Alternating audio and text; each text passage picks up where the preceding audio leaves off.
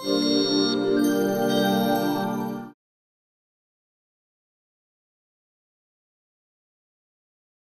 è un web server di classe che è un oggetto come questo, è proprio questo, e come vedete è facilmente trasportabile, è alimentabile anche con una normale power bank da cellulari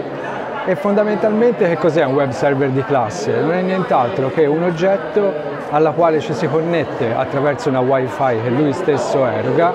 e eh, attraverso un device come può essere una LIM, un tablet, un computer o anche uno smartphone ci si connette e in questo modo si ha accesso a una serie di software pensati per la didattica e sviluppati da Indire. Questi software nascono attraverso le, i dati raccolti durante le sperimentazioni di ricerca di Indire e quindi analizzando questi dati si capisce quali possano essere del, dei punti cui, su cui intervenire realizzando uno strumento ad hoc oppure anche attraverso le esigenze che le docenti e i docenti ci espongono durante tutti i vari confronti che facciamo durante la sperimentazione. In questo modo si cerca di eh, realizzare uno strumento che sia sempre più eh, puntuale a soddisfare le, varie esigenze che si possono presentare durante la sperimentazione che stiamo svolgendo.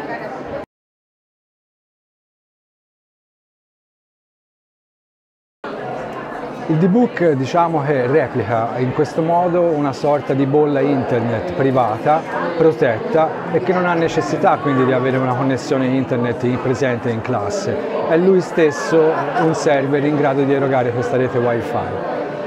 Da internet però comunque si vanno a prendere un po' tutte le varie metodologie con cui si opera, quindi c'è un libero scambio di informazioni, di conoscenza e ehm, le modalità di lavoro quindi per questo motivo si basano attraverso la condivisione e la collaborazione. Attraverso questi software si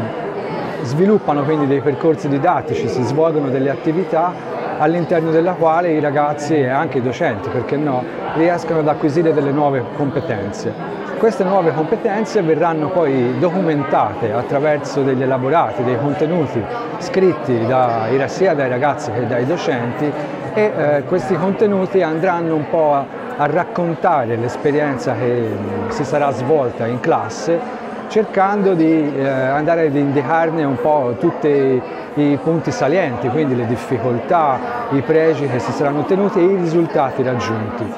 Questi contenuti poi saranno raccolti all'interno di un diario di classe collettivo, nient'altro che un blog, che appunto sarà a disposizione sempre di tutti i ragazzi e i docenti.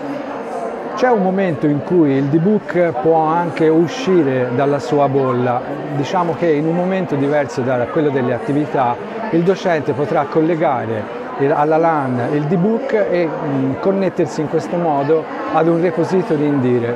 Sul repository Indire potrà sia caricare quelle, quei racconti, quelle documentazioni che in qualche modo saranno ritenute di particolare importanza e quindi adatte alla condivisione con altri docenti che a loro volta avranno a disposizione un D-Book. Quindi in questo modo si potranno sia caricare dei contenuti, sia scaricare degli altri contenuti che sono stati realizzati da altri docenti e quindi avere diciamo così, delle fonti di ispirazione per nuove attività didattiche poi da svolgere in classe.